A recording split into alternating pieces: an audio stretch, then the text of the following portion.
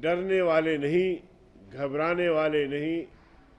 آپ گھبرا چکے ہیں بکالاہٹ کا شکار ہیں اور آپ ہر لحاظ سے ہار چکے ہیں۔ اس طرح کی ہتھ کنڈے۔ اور میں سمجھتا ہوں کہ سرکار سے زیادہ سرکار کی وفادار بننے کی کوشش مت کرے۔ ابھی حالات آپ ہی خراب کر رہے ہیں۔ ہم تو ابھی ستائیس اکتوبر کا انتظار کر رہے ہیں کہ ستائیس اکتوبر ملک بھر میں جمعیت علماء بھائیوں سے اظہار یکجہتی کے لیے مظاہرے ہوں گے اور اس میں اپوزیشن کی تمام جماعتیں ان مظاہروں میں انشاءاللہ شریک ہوں گی۔ اور پھر اکتیس اکتوبر کو آزادی مارچ کے قافلے قائد جمعیت کی قیادت میں اسلام آباد میں داخل ہوں گے۔ لیکن سرکار کی پیٹ میں ابھی سے مروڑ شروع ہو گیا ہے۔ تو آپ گھبرائیں مت، ہمارے ڈنڈوں سے ڈرے نہیں۔ بار بار ہائی کورٹ کا دروازہ غیر جمہوری انداز سے کھٹکھٹاتے ہیں۔ مگر میں خراج تحسین پر پیش کرتا ہوں۔ ہائی کورٹ کے ججز کو کہ ان کے بار بار ان درخواستوں کو مسترد کرتے ہیں۔ جمہوریت کی بات کرتے ہو، شرم نہیں آتی۔ ہمارے زبان پہ قدغن لگاتے ہو، ہمارے بیانات پہ قدغن لگاتے ہو۔ پیمرا میں اس کی کردار کی شدید مذمت کرتا ہوں۔ مگر پیمرا شاید خود سے نہ کرتا ہو۔ وہ اپنے آقاؤں کو خوش کرنے کے لیے مولانا فضل الرحمان آج ان کے لیے بڑا مشکل بنا ہوا ہے۔ اس لیے وہ گھبراہٹ کا شکار ہیں۔ کسی نہ کسی حوالے سے مولانا فضل الرحمان کا پیغام ان کی بات قوم تک نہ پہنچے، دنیا تک نہ پہنچے کہ سلیکٹڈ حکمران جنہوں نے ڈیڑھ سال پورے کیے، ڈیڑھ سال کے اندر پاکستان کی معیشت ڈوبنے لگی ہے۔ نوجوانوں کو روزگار، جو برسر روزگار تھے، ان کو نکالا جا رہا ہے۔ دیکھیے آپ کے اسلام آباد میں جو پی ایم ڈی سی ایک ادارہ تھا، اسے تحلیل کر دیا گیا اور تین لاکھ، تین سو سے زیادہ جو ملازمین جو بیس پچیس سال سے وہاں ڈیوٹی دے رہے تھے، ان کو فارغ کر دیا گیا۔ اب پی این ڈی سی کے جو ملازمین ہیں، آج بھی اسلام آباد میں سراپا احتجاج ہے۔ اسی طرح ڈاکٹرز، جو پشاور کے ڈاکٹرز ہیں یا ملک بھر کے ڈاکٹرز ہیں، یہ جو ایم ٹی آئی ایکٹ اب دتا ہے تو وہ کہتے ہیں جی یہ تو اصلاحاتی پیکج ہے۔ کیا یہ اصلاحاتی پیکج ہے یا پھر ادارے کو نجکاری کی طرف لے جایا جا رہا ہے؟ اور آئی ایم ایف نے تو ان کو کہا ہے کہ اداروں کو نجکاری کرو، ورنہ تمہارا مسئلہ حل نہیں ہوگا۔ آج کسی منافع بخش ادارے کو پرائیویٹ سیکٹر میں دے دیتے ہیں، کل کسی اور منافع بخش ادارے کو پرائیویٹ سیکٹر میں دے دیتے ہیں، تو اس طرح کر کرا کے یہ پورے ملک کو، ملکی اداروں کو، منافع بخش اداروں کو، ظاہر ہے جو ادارہ منافع بخش نہیں ہے، نجکاری یا پرائیویٹ سیکٹر میں کوئی اس کو لینے کے لیے تیار نہیں ہے۔ جو منافع بخش ادارے ہیں، ان کو وہ بیچ رہے ہیں۔ اس لیے کہ بجٹ آ رہا ہے اور ان کا ہمیشہ طریقہ یہ رہا ہے کہ اثاثے بیچ کے، قرضے لے کے بجٹ بناؤ، جو ایڈھا قزم چل رہا ہے، اسی ایڈھاک کی بنیاد پر فیصلے کرو ایڈھاک کی بنیاد پہ بجٹ بناؤ، تو یہ سلسلہ کب تک چلے گا آخر ملک میں؟ تو اس لیے میں سمجھتا ہوں کہ یہ نااہل حکمران ہماری آواز کو روکنا چاہتے ہیں، مگر آپ کو بھی میں داد دیتا ہوں کہ اپنی حد تک آپ پوری کوشش کرتے ہیں کہ ہماری آواز قوم تک پہنچے۔ اس کے ساتھ ساتھ میں سوشل میڈیا کا بھی شکریہ ادا کرتا ہوں کہ وہ بر وقت ہماری آواز جو ہے نہ صرف ملک میں بلکہ پوری دنیا میں پہنچا دیتے ہیں۔ تو ہم زیادہ تر سرکار کے اب محتاج نہیں رہے۔ اور انشاءاللہ انشاءاللہ اور انشاءاللہ العظیم ستائیس اکتوبر کا ملک بھر میں احتجاجی مظاہرے بھی ہوں گے اور اکتیس اکتوبر کا جو آزادی مارچ ہے اور تاریخ ساز مارچ، وہ بھی انشاءاللہ العظیم ہوگا۔ اب دیکھیے، ہمیں کہتے ہیں کہ جی یہ امن امان کا مسئلہ پیدا کر رہے ہم تو ابھی پہنچے نہیں آپ نے دو سو سے زیادہ کنٹینر لا کے اسلام آباد میں پھینک دیے ہیں۔ شاہراہ کو بند کر رہے ہیں۔ اس دن بھی میں نے آپ سے کہا کہ یہ خندقیں کھود رہے ہیں۔ جیسے کوئی باہر سے کوئی لشکر آ رہا ہو، ہندوستان سے کوئی لشکر آ رہا ہو، عقل سے کام لو۔ ان کا ایک ملا جو رات میرے ساتھ دنیا چینل پہ تھا، کہہ رہا ہے جی یہ تو سنت ہے۔ پیغمبر کریم صلی اللہ علیہ وسلم نے بھی خندقیں کھودی تھی۔ تو میں نے کہا کہ مدینے کو محفوظ رکھنے کے لیے اور کافروں کو مدینے میں داخل ہونے سے روکنے کے لیے خندقیں کھودی تھی، تو آپ کس کو، کس کا راستہ روک رہے ہیں؟ ہم کوئی باہر سے آئے ہیں؟ ہم کوئی ملک دشمن ہیں؟ ہم کوئی لوٹنے کے لیے اسلام آباد کو آ رہے ہیں؟ ہم نے پندرہ ملین مارچ کیے، اگر وہ پن امن رہے تو انشاءاللہ اسلام آباد کا ملین مارچ، اسلام آباد کا آزادی مارچ بھی پر امن ہوگا، بشرطے کہ آپ مداخلت نہ کریں۔ خیبر پختونخوا کے وزیر اعلیٰ بڑی باتیں تو کرتا رہا ہے، لیکن اب اتنے گھبراہٹ کا شکار ہے کہ تین چار روز سے انہوں نے کنٹینر جو ہے وہ موٹر وے کے دہانے پہ بھی رکھ دیے ہیں اور جی ٹی روڈ کو بند کرنے کے لیے بھی رکھ دیے۔ تو اس دن میں نے کہا کہ ہمارا کام یہ آسان کر رہے ہیں۔ ہمیں کنٹینر رکھ کے بند کرنا تھا روڈ اور انہوں نے ہمارا کام آسان کر دیا۔ تو اب یہ ہے کہ اگر وہ اس طرح کرنا چاہتے ہیں، تو وہ خود ملک کو لاک ڈاؤن کریں گے۔ ہم تو نہیں کر رہے۔ ہمارا تو ایک پرامن احتجاج ہے۔ اور اکیلے جمعیت علماء اسلام نہیں ہے، بلکہ نو جماعتیں ہم مل کر آزادی مارچ کر رہے ہیں۔ اور پوری قوم ہماری پشت پر ہے تاجر وکلا ڈاکٹرز، ٹیچرز طلبہ نوجوان، پوری قوم ہمارے ساتھ ہے۔ تو انشاءاللہ العظیم یہ ناکام ہوں گے، مایوس ہوں گے۔ آج میں پھر اس اعلان کو دہراتا ہوں کہ ستائیس اکتوبر کو ملک بھر میں ڈسٹرکٹ ہیڈ کوارٹرز پہ احتجاجی مظاہرے ہوں گے، مذمتی قراردادیں پاس ہوں گی اور کشمیری بھائیوں کے ساتھ اظہار یکجہتی ہوگا۔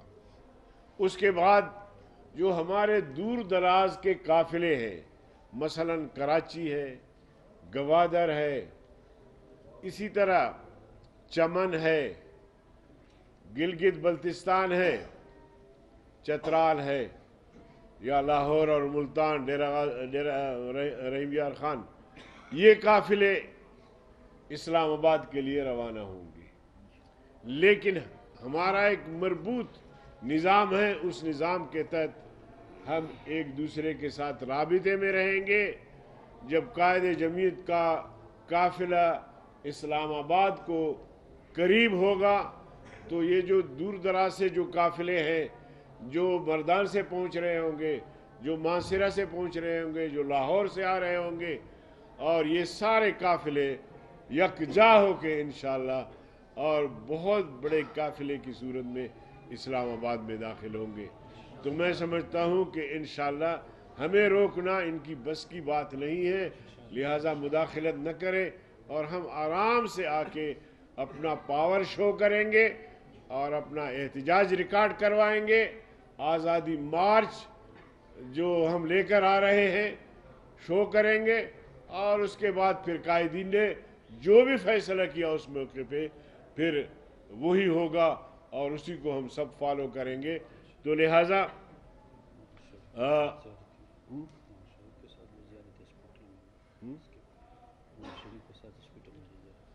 اور دیکھیے یہ حکومت اپوزیشن سے انتقام لے رہی ہے۔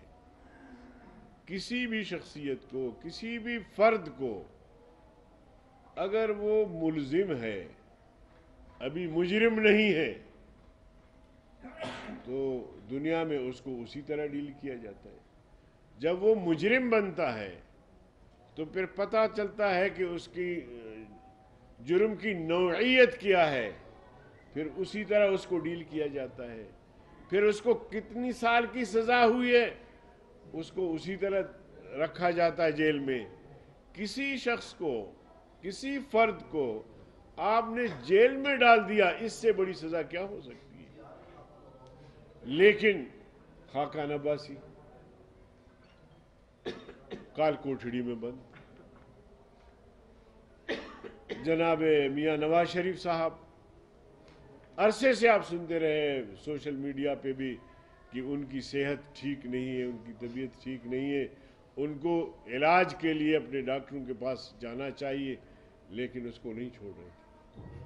اور ایسی حالت میں ان کو چھوڑا کہ اللہ ان کو صحت دے۔ میں تو دعا گو ہوں کہ اللہ پاک ان کو صحت کاملہ، عاجلہ مستمر عطا فرمائے۔ مشکل ترین حالات کا جس جوامردی سے نواز شریف نے مقابلہ کیا ہے میں سمجھتا ہوں کہ ہماری طرف سے اس کو سلوٹ اور سلام اور خراج تحسین۔ مرد آہن جناب زرداری صاحب، انہوں نے جیلیں بھی کاٹی ہیں، اب بھی ان کو جیل میں رکھا ہے، اس عمر میں بھی۔ اور بیمار بھی ہے مریض بھی ہے لیکن ان کو یقین نہیں آتا۔ اور یہ کہتے ہیں، اس بیماری کی حالت میں بھی عام انسان بھی ہوتا ہے تو اسی کی ذات سے کوئی دشمنی نہیں ہوتی۔ وہ دعا گو رہتا ہے کہ اللہ کرے اس بیماری سے اس انسان کو نجات، لیکن اس بیماری کی حالت میں بھی تنقید کرتے ہیں کہ جی یہ تو بہانے بناتے ہیں، یہ تو بیمار نہیں ہے یہ تو کوئی ابو بچانے نکلے ہیں بلاول۔ اور یہ اس طرح کی مطلب تضحیق، آمیز، یہ جملے، یہ الفاظ اور اسی طرح اپوزیشن کو انتقام کا نشانہ بنانا ہر لحاظ سے قابل مذمت ہے، جمعیت علماء اسلام اس کی بھرپور مذمت کرتی ہے۔ جی۔ اچھا یہ بتائیے گا کہ حکومت کی طرف سے جو یہ پوائنٹ آ رہا ہے کہ آپ جو ہے ڈنڈا جو لے کے اور آپ کو ہم کیپٹل میں انٹر نہیں ہونے دیں گے، جس کے لیے ہم یہ تمام انتظامات کر رہے ہیں کنٹینر لگا رہے ہیں۔ اور دوسری طرف اگر حکومت کنٹینر لگا دیتی ہے، راستے بند کر دیتی ہے، تو آپ کی حکمت عملی کیا ہوگی؟ کیا باقاعدہ کرینس کے ساتھ آئیں گے یا ہماری یہ طالب علم جو ہے نا، وہ گورنمنٹ کا یاسین پڑھتے ہوئے اللہ اکبر کر کے اس کنٹینر کو دھکا دیں گے اور انشاءاللہ آپ دیکھیں گے کہ وہ راستہ کھل جائے گا ہمارے لیے۔ اس میں میں ایک تھوڑی سی وضاحت کر دوں۔ کل سوشل میڈیا پر میں نے ایک کلپ دیکھا ہے، جس میں یہ باور کرنے کی کوشش کی جا رہی جی کہ یہ وہ ڈنڈے دکھا رہے ہیں اور کہہ رہے ہیں جی اس میں بارود بھر رہے ہیں۔ تو ہم سمجھتے ہیں کہ یہ قوم کی آنکھوں میں دھول ڈالنے والی بات ہے۔ وہ لوگ ہیں کہ جنہوں نے اپنی جانوں کا نذرانہ پیش کر کے قائد جمعیت پہ خود کش حملے ہوئے خود مولانا عبدالغفور حیدری صاحب پہ خود کش حملے ہوئے ہماری قیادت شہید ہوئی ہے۔ لیکن ہم نے قوم کو ہمیشہ امن کا پیغام دیا ہے۔ امن کا پروگرام دیا ہے اور قائد جمعیت ہی وہ ذات ہے کہ جنہوں نے تمام کے تمام علماء اور دینی طبقے کو آئین کی طرف لے کے آئے ہیں انہوں نے اسلحے کی کبھی بات نہیں کی ہے۔ دیکھیے جو ہمارے جی؟ اس کا مطلب یہ ہے کہ پھر حکومت مفلوج ہے۔ حکومت سیاسی حالات کا مقابلہ نہیں کر پا رہی۔ اگر حکومت کہتی ہے کہ میں جائز حکومت ہوں، اس کے پاس پبلک ہے، اس کے پاس پاور ہے، تو پھر اس کو فوج بلانے کی کیوں ضرورت پیش آ رہی ہے؟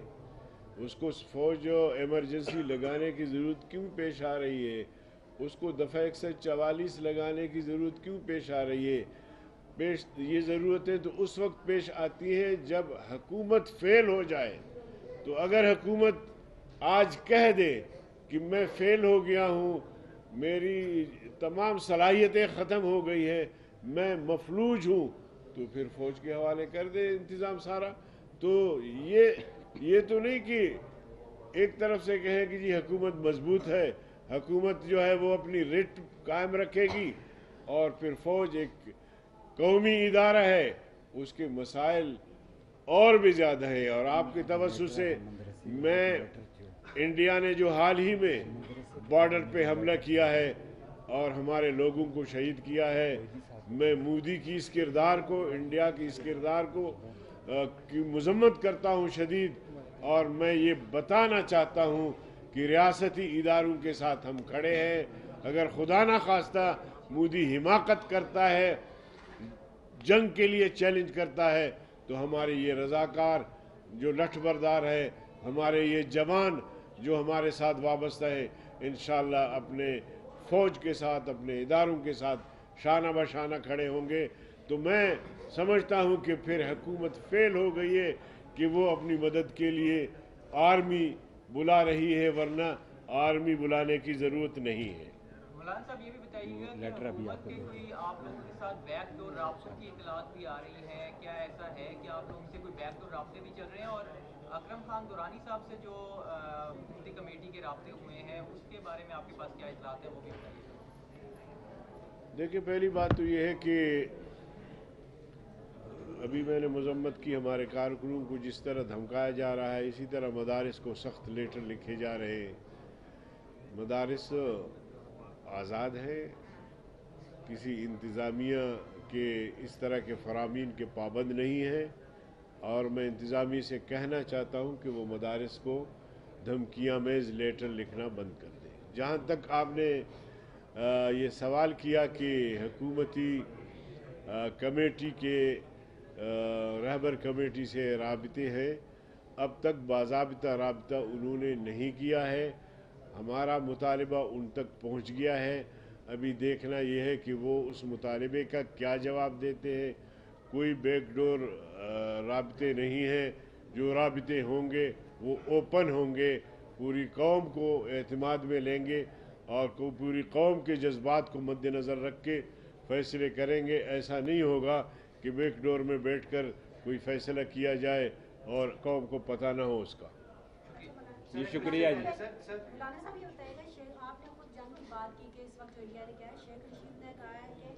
یہ جو ابھی آپ کا جو دھرنا ہے غلط ٹائم پہ آئے کیونکہ انڈیا پریکٹیکلی جنگ میں پاکستان کے ساتھ آ گیا، اس لیے آپ کو یہ دھرنا یا یہ آزادی مارچ نہیں کرنا چاہیے۔ یہ دھرنا یہ آزادی مارچ تو ہمارے کنٹرول میں ہے نا۔